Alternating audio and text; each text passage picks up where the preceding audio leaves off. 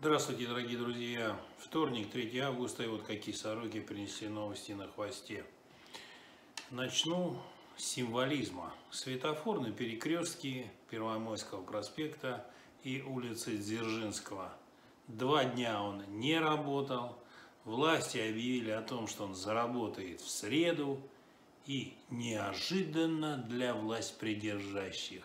Сегодня во вторник он заработал сам собой. Почему в этом я вижу некий символизм? Да в том, что все, ну, может быть, не все, но многое в Рязани перевернуто с ног на голову. Тот, что должно быть государственным, к сожалению, принадлежит частным людям, частникам. Вернемся к светофору. Смотрите, светофорное хозяйство – как система управления дорожным движением. Вы думаете, она муниципальная? Вы глубоко заблуждаетесь, дамы и господа. Она принадлежит депутату городской думы, а по совместительству бизнесмену Роману Худякову. Э, для этого отведено хорошее помещение в старинном доме прямо в самом центре Рязани на Первомайском проспекте на самом его начале. Вот там и располагается центр управления дорожным движением в городе. Вот поэтому власть в Рязани и не знает, когда заработает светофор. Это же касается, к сожалению, и хлебушка. Значит, э, один из телеграм-каналов, ну, я не разделяю до конца его радикализм, но все-таки, смотрите, был третий хлебозавод, нормально работал, потом все хуже, хуже. Появилась э, некая мадам, как говорит этот телеграм-канал, которую зовут Ирина Гончарова, из-за которой очень активно выступала предводитель единороссов в Рязгордоме Елена Волкова. Так вот, Гончарова вместе с Фединым, которого причисляют к клану Купера, Юрия Куприянова, Значит, этот хлебозавод успешно аннулировали. Я это не утверждаю.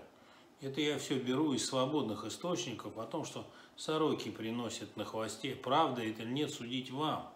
Так вот, они его успешно аннулировали. На его месте создали какое-то модное, ныне заумным названием предприятие, там, по развитию бизнеса, чего-то, чего-то. В общем, где собираются рязанские хипстеры. И весь упор был, э, извините, это первый хлебозавод, я, конечно, оговорился, весь упор был на третий хлебозавод, но, увы и ах, так доуправлялись муниципальные власти, что ему скоро придет каюк. Уже губернатор, а губернатор ему позже, губернатор об этом заговорил.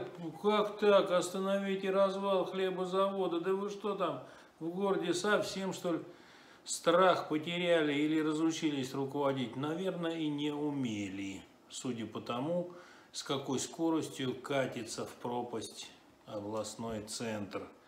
А тем временем сообщает, что Алексей Сухов – на месте своего э, магазина, где он выступал в роли сомелье, на перекрестке Подгорной и Свободы откроет лавку по продаже хлеба собственного производства. Ну что ж, сейчас это модно.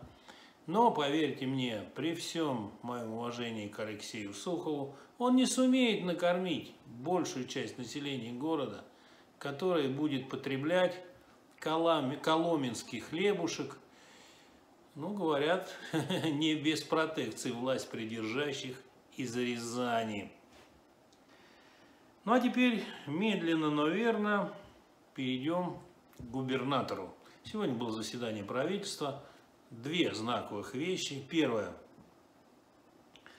Уволили Андрея Устинова, министра ТК ЖКХ. Уволил э, Любимов. За что? Ну, за то, что все плохо в рязанских дворах, как будто у нас нет администрации города, кто непосредственно отвечает за порядок в этих самых дворах. Нужна была очередная жертва на алтаре политической борьбы на заклане, и Устинов в этой роли выступил. Далее, второе, что сделал Николай Любимов. Сегодня я освобождаю вас от всяких так заумных, они очень любят это заумные речи, туда-сюда. Говорю только фактологию. Значит, э, Любимов заумными речами подвел к тому, что некоторые предприятия Рязанской области требуются, некоторым предприятиям требуется помощь.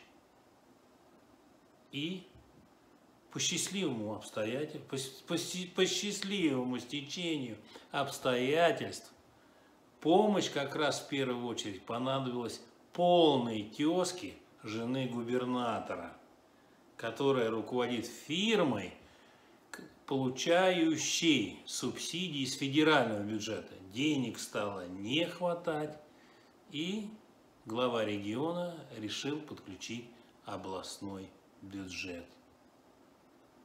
Ну что ж, на этом пока все.